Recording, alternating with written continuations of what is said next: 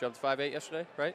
We are in section two, Masco lane three, Duxbury lane four, Catholic Memorial lane five. Thank you, Marco. Hashtag free coach Shep. I'm back. CM is out. CM got out good. Let's see how they do in the first exchange. Yeah, just a few years ago, CM had a monster team. They had about five kids that could roll. Also, my high jump PR is 5'8", so that's a little bit embarrassing, but Let's go. Jada, Oh, Jada, man. Jada would have got me today. Oh, man.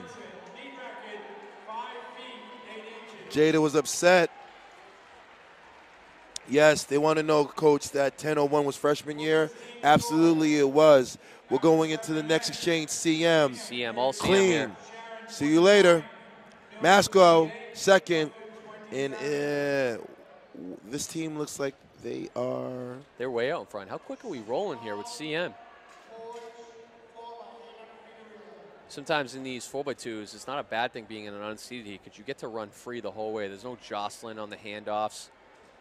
You're in lane one the entire time. Handoffs Mm, can be crispy. nice that was a handoff. crisp handoff right there. Wow, what a CM run.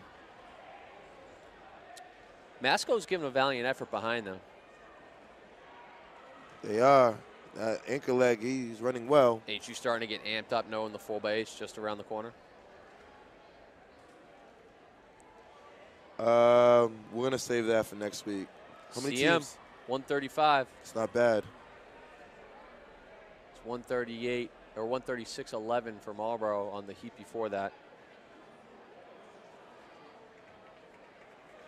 Good, good time out of that heat. Section three out of six coming up. They came